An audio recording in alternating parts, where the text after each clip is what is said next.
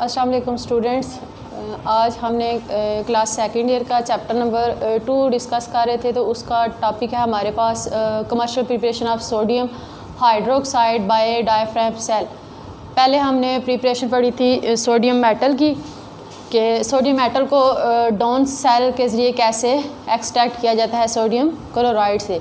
तो आज हमने जो चीज़ स्टडी करनी है, वो है हमारे पास कि सोडियम हाइड्रोक्साइड की प्रिपरेशन हमने करनी है डायफ्राम सेल और इसे कहते हैं नेल्सन सेल अब ये नेल्सन जो है, ये साइंटिस्ट के नाम पे है।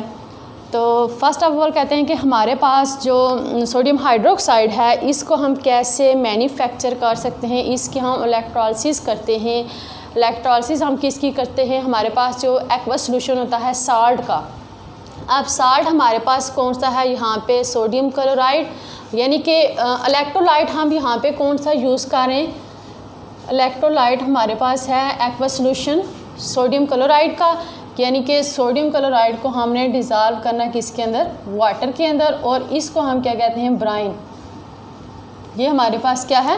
इलेक्ट्रोलाइट तो इलेक्ट्रोलाइट हमने ब्राइन यूज़ करना है। सोडियम क्लोराइड एक्वा सोल्यूशन तो इसमें हमारे पास हमने देखने के फ़र्स्ट ऑफ़ ऑल ये आ, हमारे पास इलेक्ट्रोलाइट तो हो गया। अब हमने देखना है कि जो हमने सेल यूज़ करना है नेल्सन सेल इसके कंपोनेंट कौन कौन से हैं? तो इसके डिफरेंट कंपोनेंट्स हैं। फ़र्स्ट जो है ये सेल इसका जो फ़र्स्ट कंपोनेंट है वो है स्टील टैंक ये जो आउटर हमें टैंक नज़र आ रहा है ये स्टील का बना हुआ टैंक है। सेकंड इसका कंपोनेंट जो है वो है लेवल डिवाइस अब जो स्टील टैंक है या कैथ बेसन है, इसका फ़ंक्शन क्या है कि हमारे पास जो सोडियम क्लोराइड प्रोड्यूस होगा, वो इसके अंदर आके कोलेक्ट हो जाएगा. सेकंड इसका जो कंपोनेंट है वो है लेवल डिवाइस अब जो लेवल डिवाइस है, इसका फ़ंक्शन क्या है? ये लेवल डिवाइस क्या करती है? जो हमारे पास ब्राइन है, यानी कि एक्वा सोल्यूशन है सोडियम क्लोराइड का उसके फ़्लो को मेंटेन करती है और उसके साथ ये ब्राइन का जो लेवल है सेल के अंदर, उसको एक हद तक जो है वो उसको बरकरार रखती है लेवल डिवाइस लेवल डिवाइस के बाद जो नेक्स्ट हमारे पास कंपोनेंट है वो है परफोरेटेड स्टील वैसल ये परफोरेटेड मीन वो स्टील वैसल जिसके अंदर क्या है? सुराह हैं. अब हमारे पास ये जो यू शेप ट्यूब आपको नज़र आ रही है, ये यू शेप ट्यूब है ये बैटरी जो है, बैटरी के नेगेटिव टर्मिनल के साथ कनेक्टेड होती है और ये सर्व करती है एज ए कैथोड अब ये जो परफोरेटेड स्टील वेसल है, ये एक्ट कर रही है एज ए कैथोड इसके अंदर सुराख हैं, ये परफोरेशन किस लिए है? वो इसलिए कि हमारे पास जो सोडियम क्लोराइड ये इस यू शेप ट्यूब के अंदर जो है, जब ये सोडियम क्लोराइड जब ये कन्वर्ट होगा सोडियम हाइड्रोक्साइड के अंदर तो इन परफोरेशन के ज़रिए ये नीचे कैच बॉक्स के अंदर कैच बेसन के अंदर आके कलेक्ट होगा। नेक्स्ट जो है हमारे पास कंपोनेंट वो है ग्रेफाइड एनोड ग्रेफाइड ये कार्बन के एलोट्रॉपिक फॉर्म है। ये जो हमारे पास यू शेप ट्यूब है, इसके अंदर एक एनोड जो डिप है, ये किसका बना हुआ है? ग्रेफाइड का। तो ये थे कंपोनेंट सेल के। अब वो कहते हैं कि हमारे पास ये जो टैंक है, इसके एक साइड से हम क्या करवाते हैं? स्टीम को इंजेक्ट करवाते हैं प्रेशर के साथ। अब जो स्टीम होती है, वो क्या फ़ंक्शन करती है वहाँ पे जाके? स्टीम क्या करती है कि एक तो इलेक्ट्रोलाइट को वार्म रखती है। ये जो हमारे पास इलेक्ट्रोलाइट है, जब हमने स्टीम को कैच बॉक्स के ज़रिए कैच बेसन के ज़रिए इंजेक्ट करवाया तो ये क्या करेगी कि जो इलेक्ट्रोलाइट है, उसको वार्म करेगी। इसको वार्म रखेगी। सेकंड इसका क्या फ़ंक्शन है? ये किसके लिए हेल्पफुल है? ये जो परफोरेशन है कैथोड के अंदर जो परफोरेशन है, उनको क्या करेगी? क्लियर करेगी। यानी कि उनके अंदर कोई ऐसी चीज़ गठी नहीं होगी जो रुकावट बने सोडियम हाइड्रोक्साइड की। जब वो प्रिपेयर होता है तो वो नीचे, जब वो आता है कैथ बेसन के अंदर। तो स्टीम जब होगी, एक तो वो इलेक्ट्रोलाइट को वार्म करेगी। सेकंड क्या करेगी कि ये जो परफोरेशन है, सुराह हैं, इनको क्लियर रखेगी। अब कहते हैं कि ये तो हमारे पास थे कंपोनेंट सेल के और इनका फ़ंक्शन नेक्स्ट जो है, वो हमने देखने है कि यहाँ पे रिएक्शन कौन कौन से हो रहे हैं। अब हमने देखा कि हमारे पास जो जो हमने रॉ मटेरियल यूज़ किया है, वो है हमारे पास एक्वा सोल्यूशन है सोडियम क्लोराइड का। तो जब सोडियम क्लोराइड की एक्वा सोल्यूशन है तो हमने देखना है कि यहाँ पे कौन कौन से आइंस बन रहे सोडियम क्लोराइड का हमारे पास एक्वा सोल्यूशन है तो यहाँ पर हमारे पास फोर डिफरेंट किस्म के आयन बनेंगे। सोडियम क्लोराइड है, इसका हमने एक्वा सोल्यूशन लिया हुआ यानी कि वाटर के अंदर सोल्यूशन है तो हमारे पास सोडियम आयन बनेगा क्लोराइड हाइड्रोजन आयन और हाइड्रोक्सल आयन अब यहाँ पे हमने देखना है कि कौन से रिएक्शन कहाँ पे हो पहले हमने देखा कि जो हमारे पास सोडियम था, उसमें तो सिंपली हमने सोडियम क्लोराइड को लिया था फ्यूज फॉर्म में। तो सोडियम हमारे पास जो था वो कैथोड के ऊपर जाके कलेक्ट होता था और जो क्लोराइड है वो एनोड अब यहाँ पे हमारे पास फोर आयन हैं तो इनमें से हमने देखना है कि कौन सा आयन कहाँ पे जाएगा। पहले हमने देखना है कि कैथोड जो है, उसके ऊपर क्या रिएक्शन होगा। अब कैथोड जो हमारे पास है, वहाँ पे क्लोराइड आयन आएगा और वहाँ पे उसकी क्या होगी? ऑक्सीडेशन पहले हमने इनके रिएक्शन देखने हैं सॉरी कैथोड नहीं एनोड पहले हमने देखना है कि एनोड के ऊपर कौन सा रिएक्शन हो रहा है। रिएक्शन एट एनोड एनोड हमारे पास पॉजिटिवली चार्ज है। तो क्लोराइड आयन आएगा एनोड के ऊपर, वहाँ पे आके इसकी क्या हो जाएगी? ऑक्सीडेशन ये इलेक्ट्रॉन को लूज़ करेगा और कन्वर्ट हो जाएगा किसके अंदर? क्लोरीन गैस के अंदर। एक्वस फेस में है हमारे पास क्लोराइड आयन जब इसकी ऑक्सीडेशन होगी तो ये कन्वर्ट हो जाएगा किसके अंदर? क्लोरीन गैस के अंदर, और साथ टू इलेक्ट्रॉन का लॉस होगा। ये रिएक्शन होगा कहाँ पे? एनोड के ऊपर। अब हमने देखना है कि जब ये एनोड के ऊपर रिएक्शन होगा तो फिर ये जो डोम बनी हुई है, वहाँ पे, वहाँ से ये क्लोरीन जो है, वो बाहर रिलीज़ होगी। वहाँ पे इधर एक और सिलेंडर होगा, उसके अंदर जाके कलेक्ट हो जाएगी। नेक्स्ट हमने देखना है कि हमारे पास जो एनोड कैथोड है, उसके ऊपर कौन सा रिएक्शन रिएक्शन एट कैथोड अब जो कैथोड है, वहाँ पे क्या होगी? रिडक्शन होगी। यानी कि वाटर जो है, उसकी रिडक्शन होगी और हाइड्रोजन गैस रिलीज़ होगी। जब हमारे पास कैथोड पे वाटर मालिक्यूल है ये रिड्यूस होगा। रिड्यूस होकर ये कन्वर्ट हो जाएगा किसके अंदर? हाइड्रोक्सल आयन के अंदर एंड हाइड्रोजन गैस के अंदर। इसकी रिडक्शन होगी वाटर मालिक्यूल यानी कि एडिशन ऑफ़ इलेक्ट्रॉन क्लोरीन, जो क्लोराइड आयन है, इसकी ऑक्सीडेशन हुई, इसने इलेक्ट्रॉन को लूज़ किया। कैथोड पे क्या होगी? रिडक्शन एडिशन ऑफ़ इलेक्ट्रॉन और जब रिडक्शन होगी तो वाटर मालिक्यूल कन्वर्ट हो जाएगा हाइड्रोक्सिल आयन के अंदर और साथ हाइड्रोजन गैस रिलीज़ होगी। अब यहाँ पे हमारे पास ये दो चीज़ें, क्लोरीन और हाइड्रोजन गैस तो रिलीज़ होगी। अब हमारे पास क्या चीज़ बची है? एक सोडियम आयन है और दूसरा hydroxyl ion.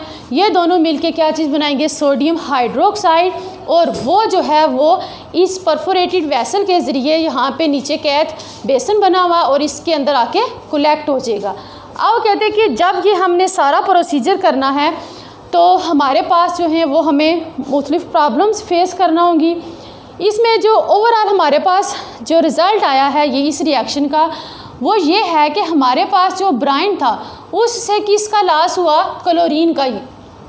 Chloride ion in the form of chlorine वहाँ से निकल गया क्लोरीन गैस अब इसके अंदर की इसकी कंसनट्रेशन ज़्यादा हो गया? हाइड्रोक्सल आयन की। हाइड्रोक्सल आयन ज़्यादा होने की वजह से ये जो कैथोड कंपार्टमेंट है, ये हमारे पास कौन सा होगा? अल्कलाइन इन नेचर यानी कि हमारे पास जो हाइड्रोक्सल आयन है, इनकी कंसनट्रेशन ज़्यादा होने की वजह से जो कैथोड कंपार्टमेंट है, वो बेसिक इन नेचर होगा। अब हमने देखना है कि ये जो सेल जब वर्क करता है तो इस दौरान हमें कौन कौन सी प्रॉब्लम जो है वो फेस करना पड़ती हैं। यहाँ तक था कि सेल का जो हमने रॉ मटेरियल यूज़ किया, यानी कि इलेक्ट्रोलाइट और सेल के जो कंपोनेंट्स हैं वो कौन, क्या क्या है, उनका फ़ंक्शन क्या है, और इसके साथ हमने रिएक्शन देखे कि सेल के अंदर कौन कौन से रिएक्शन हैं। तो इसको एक बार फिर अगर रिवाइज़ किया जाए तो इलेक्ट्रोलाइट हमारे पास क्या था? एक्वा सोल्यूशन है सोडियम क्लोराइड का, और उसे हम क्या कहते हैं? ब्राइन इसके बाद हमने सेल के कंपोनेंट देखे। फ़र्स्ट हमारे पास इसका कंपोनेंट था स्टील टैंक जिसके अंदर क्या होगा? सोडियम हाइड्रोक्साइड आके कलेक्ट होगा। सेकंड हमारे पास था लेवल डिवाइस अब लेवल डिवाइस का क्या मकसद है? वो क्या करती है? ये जो यू शेप ट्यूब है, इसके अंदर जो ब्राइन है, उसके लेवल को फ्लो को कंट्रोल करती है और उसका जो लेवल है, वो एक स्पेसिफिक हद तक मेंटेन रखती है। यानी कि लेवल से वो, जो इलेक्ट्रोलाइट है, उसको एक्सीड नहीं करने देती।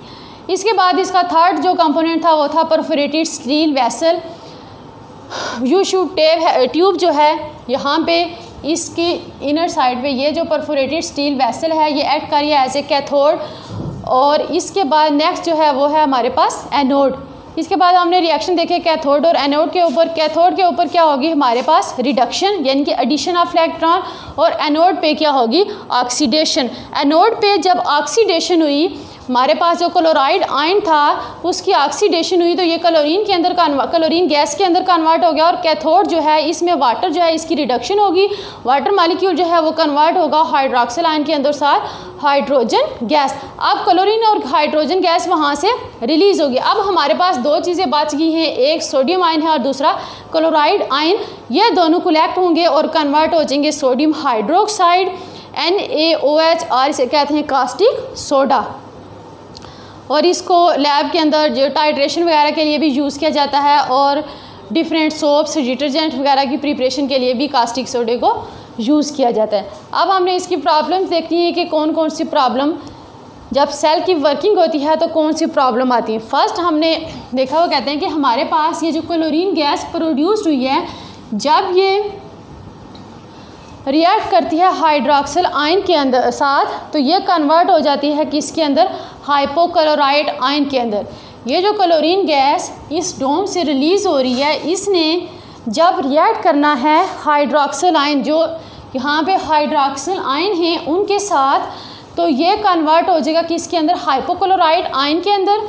क्लोराइड आयन और वाटर मालिक्यूल के अंदर। क्लोरीन गैस है जब ये हाइड्रोक्सिल आयन के साथ रिएक्ट करेगी तो हमारे पास क्या चीज़ बनेगी? Hypochloride ion plus chloride ion aqueous phase में रिएक्शन है क्लोराइड आयन और साथ इसके वाटर मालिक्यूल अब वो कहते हैं कि एक तो प्रॉब्लम ये है. सेकंड प्रॉब्लम क्या है कि हाइड्रोक्साइड आयन जो हैं, ये किसकी तरफ़ जाएँगे? एनोड की तरफ़.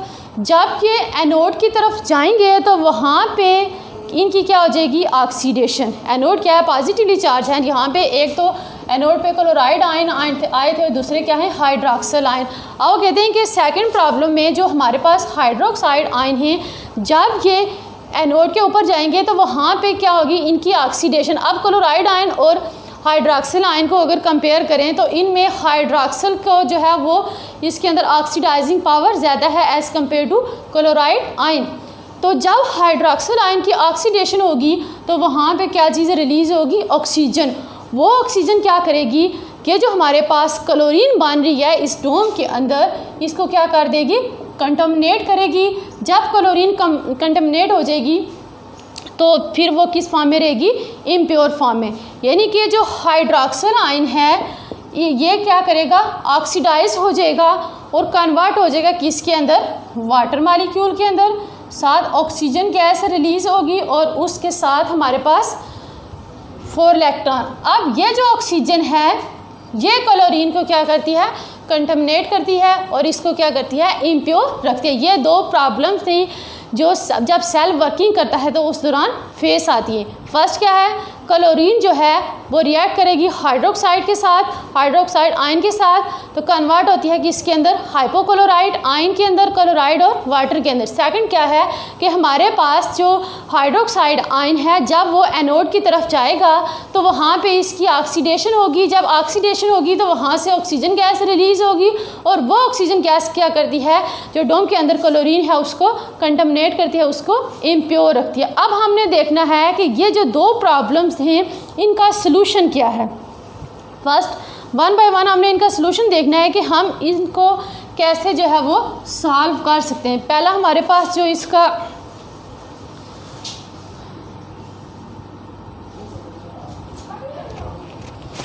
तो इसकी जो सलूशन है, वो है हमारे पास। अब ये जो हमारे पास दो प्रॉब्लम्स थी, उनका हमने सलूशन देखना है। कि पहले हम पहले का देखते हैं कि हमारे पास जो क्लोरीन है, जब इसने रिएक्ट किया हाइड्रोक्साइड आयन के साथ तो ये हाइपोक्लोराइड के अंदर कन्वर्ट हो गया और साथ क्लोराइड और साथ वाटर मालिक्यूल इसका सोल्यूशन क्या है? वो कहते हैं कि जो फ़र्स्ट प्रॉब्लम है, उसको हम कैसे सॉल्व कर सकते हैं? इसको सॉल्व करने के लिए हम यूज़ करते हैं एस्पेस्टॉस डायफ्रेम ये जो है हमारे पास, ये मेम्ब्रेन ये क्या है? एस्पेस्टास की बनी हुई है. एस्पेस्टास हमारे पास क्या है? एक मैग्नीशियम का मिनरल है और है. तो इसकी आ, हम यूज़ करते हैं एस्पेस्टास डायफ्राम और इसकी मेम्ब्रेन अब ये जो मेम्ब्रेन है ये क्या करती है? ये क्या करती है कि दोनों सोल्यूशन को सेपरेट रखती है। कौन कौन से? सोडियम क्लोराइड का जो सोल्यूशन है उसको और उधर हमारे पास जो वाटर मालिक्यूल की जो आयोनाइज आयोनाइज हुआ तो उसमें हाइड्रोक्सल आयन बने उन दोनों को क्या करती है? उसको अलग रखती है। यानी कि क्लोराइड आयन और हाइड्रोक्सल आयन जो है इनको आपस में मिलने नहीं देती। अब कहते हैं कि इसमें लेकिन क्लोराइड आयन और हाइड्रोक्सल आयन आपस में मिलेंगे नहीं, लेकिन जो हमारे पास सोडियम आयन है, ये किसकी तरफ़ मूव करेगा? कैथोड, ये हमारे पास एनोड है और ये कैथोड तो सोडियम आयन किसकी तरफ़ मूव करेगा? कैथोड की तरफ़ तो वो कन्वर्ट हो जाएगा सोडियम हाइड्रोक्साइड के अंदर, लेकिन ये मेम्ब्रेन जो है, ये क्लोराइड आयन को सोडियम हाइड्रोक्साइड की तरफ़ मूव नहीं करने देती। यानी कि एनोड से क्लोराइड को कैथोड की तरफ़ मूव नहीं करने देती। सिर्फ़ किसको परमिशन देती है? सोडियम को कि वो हाइड्रोक्साइड आयन की तरफ़ मूव करे। सेकंड जो इसकी रीज़न है सेकंड जो प्रॉब्लम थी कि जो हाइड्रोक्साइड आयन है, ये ऑक्सीडाइज हो जाता है और कन्वर्ट हो जाता है। यहाँ पे ऑक्सीजन गैस रिलीज़ होती है, वो क्या करती है? कंटमनेट कर देती है किसको? क्लोरीन को। तो इसका सलूशन क्या है? वो कहते हैं कि यहाँ पे हम क्या करते हैं कि हमारे पास ये जो एनोड और कैथोड कंपार्टमेंट हैं, हम क्या करते हैं कि जो एनोड कंपार्टमेंट है, इसका लेवल थोड़ा थोड़ा सा हाई कर देते हैं, ठीक है? स्लाइटली इसका लेवल हाई करते हैं एज़ कंपेयर टू कैथोड से तो यहाँ पे एनोड का लेवल हाई है एज़ कंपेयर टू कैथोड से। जब लेवल एनोड का हाई होगा कैथोड से तो हमारे पास जो लिक्विड होगा, वो किसकी तरफ़ मूव करेगा? वो किसकी तरफ़ मूव करेगा? कैथोड की तरफ़। यहाँ से हमारे पास जो लिक्विड है, वो मूव करेगा कैथोड एनोड से। कैथोड की तरफ़ एनो कैथोड से एनोड की तरफ़ आयंस मूव नहीं करेंगे। यानी कि हाई कंसनट्रेशन से वो किसकी तरफ़ जा रहे हैं? लो की तरफ़। तो इसलिए जो हाइड्रोक्साइड आयन है, वो ऑक्सीजन के अंदर यहाँ पे कन्वर्ट नहीं होगा। तो ये इसकी दो रीज़न्स थी। सॉरी इनका सोल्यूशन था जो दो प्रॉब्लम थी कि कैसे हम इनको सॉल्व कर सकते हैं। पहला ये सिंपली क्या है कि हम डायफ्राम यूज़ करते हैं और वो डायफ्राम जो है वो एक्ट करा एज ए मेम्ब्रेन एस्पेस्टास का बना होता है। वो क्या करता है कि दोनों एनोड और कैथोड के जो आयंस हैं उनको सेपरेट रख सकता है। सेकेंड जो है हमारे पास वो ये था कि हम एनोड जो हमारे पास कंपार्टमेंट है, उसका लेवल हाई कर दें। तो जब लेवल हाई होगा तो एनोड के जो सोलूशन हैं, वो मूव करेंगे।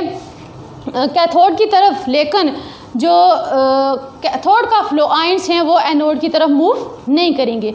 इसके बाद हमने देखनी है कि हमारे पास जो प्रोडक्ट बना, यानी कि सोडियम हाइड्रोक्साइड है एन और सोडियम क्लोराइड है। हमने प्रोडक्ट की परसेंटेज देखनी है कि हमारे पास एट दी एंड जो कैच बेसन है, उसके अंदर जो हमारे पास सोडियम हाइड्रोक्साइड आया उसकी कितनी परसेंटेज है और जो हमने ब्राइन लिया था, उसकी क्या परसेंटेज है?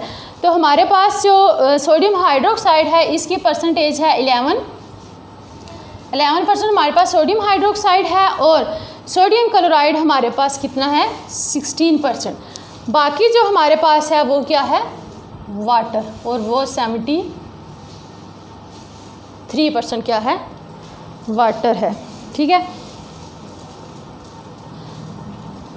अब वो कहते हैं कि हमने क्या करना है कि यहाँ पे सोडियम हाइड्रोक्साइड की परसेंटेज को हमने क्या करना है? इंक्रीज़ करना है। तो परसेंटेज को हम क्या इंक्रीज़ करने के लिए हम क्या करेंगे कि ये जो हमारे पास है, इसको हम क्या करेंगे? इसकी वाइपोरेशन करेंगे। जब हम इसकी वाइपोरेशन करेंगे तो वाटर मालिक्यूल जो हैं वो वेपर जो हैं वो वाइपरोट हो जाएँगे और इसके अंदर जो हमारे पास सोडियम क्लोराइड होगा वो नीचे सेटल डाउन हो जाएगा और वो रेजिड्यू की फॉर्म में वहाँ पे से हम उसको फ़िल्टर कर लेंगे सेपरेट कर लेंगे। तो एट दी एंड हमने जब दोबारा चेक किया तो इसके अंदर हमारे पास जो सोडियम हाइड्रोक्साइड है, इसकी परसेंटेज इंक्रीज़ होगी और वो हमारे पास कितना है फिफ्टी परसेंट आ गया हमारे पास सोडियम हाइड्रोक्साइड और इसके अंदर जो अब सोडियम क्लोराइड कितना है ओनली वन परसेंट तो हम इसकी जो प्रोडक्ट आए हमारे पास, उनकी परसेंटेज कैसे सोडियम हाइड्रोक्साइड की इंक्रीज़ कर सकते हैं इवाइपोरेशन से? और फिर हम उसका क्या करते हैं? फिल्ट्रेशन यानी कि पहले हम उसको इवापोरेट करेंगे। इवापोरेशन के बाद जब हमारे पास जो सोडियम क्लोराइड उसके सेटल डाउन हो जाएगा बीकर में तो फिर हम उसको फ़िल्टर कर लेंगे। फिल्ट्रेशन के बाद हम दोबारा इसकी परसेंटेज को चेक करेंगे तो हमारे पास क्या होगा? सोडियम हाइड्रोक्साइड 50 परसेंट होगा। और उसके अंदर जो सोडियम क्लोराइड है वो ओनली वन परसेंट अब ये जो वन परसेंट जो है सोडियम क्लोराइड, ये स्मॉल इम्प्योरिटीज़ है, इसकी इतनी इंपॉर्टेंस नहीं है। तो ये थी हमारे पास सोडियम हाइड्रोक्साइड की प्रिपरेशन ये कैसे हम सोडियम हाइड्रोक्साइड को डॉन सेल और नेल्सन सेल से प्रिपेयर कर सकते हैं। पहले आपने वहाँ पे लिखना है कि हमने इलेक्ट्रोलाइट्स कौन सा लिया सो so, हमारे पास एक्वा सोल्यूशन है सोडियम हाइड्रोक्साइड का जिसे हम क्या कहते हैं ब्राइन कहते हैं। फिर सेल के कंपोनेंट्स कौन कौन से फिर सेल के अंदर रिएक्शन कौन से होते हैं? और एनोड और कैथोड के ऊपर रिएक्शन कौन से हो रहे फिर उसके बाद आपने देखना है कि जब सेल की वर्किंग होती है तो उस दौरान कौन सी प्रॉब्लम फेस करना पड़ती हैं? वो आपने देखनी है साथ उनका सलूशन कि प्रॉब्लम्स तो आपने देख ली फिर आपने देखना है कि इनको हल कैसे किया जाए और वो आपने साथ लिखना है और उसके बाद एट द एंड आपने देखना है कि हमारे पास जो प्रोडक्ट आए, उनकी परसेंटेज क्या है। तो इनिशियली जब हमने देखा तो हमारे पास सोडियम हाइड्रोक्साइड एलेवन परसेंट था और सोडियम क्लोराइड सिक्सटीन था। फिर हमने क्या किया कि बाकी जो रिमेनिंग था वो वाटर था। हमने क्या किया कि इसकी वाइपोरेशन की वाइपोरेशन के बाद हमने इसको फिल्ट्रेशन की हमारे पास। फिर इसकी परसेंटेज को चेक किया तो इसकी परसेंटेज इंक्रीज़ हो गए और वो हमारे पास कितनी होगी? 50 परसेंट और sodium chloride only one percent तो ये जो वन परसेंट है, ये माइन्यूट इम्प्योरिटी है इसको इग्नोर किया जाता है या इसकी इतनी इंपॉर्टेंस नहीं है। ये थी हमारे पास सोडियम हाइड्रोक्साइड की प्रिपरेशन बाय डॉन सेल और ये पेपर में पूछा जा सकता है एज ए लॉन्ग क्वेश्चन और शार्ट क्वेश्चन के तौर पर भी कि आप जब वर्किंग करता है नेल्सल सन सेल तो उस दौरान कौन सी प्रॉब्लम जो है वो क्रिएट होती हैं और साथ उनका सलूशन क्या है? तो आपको पता नहीं चाहिए प्रॉब्लम्स क्या क्या हैं और साथ उनका सलूशन क्या है।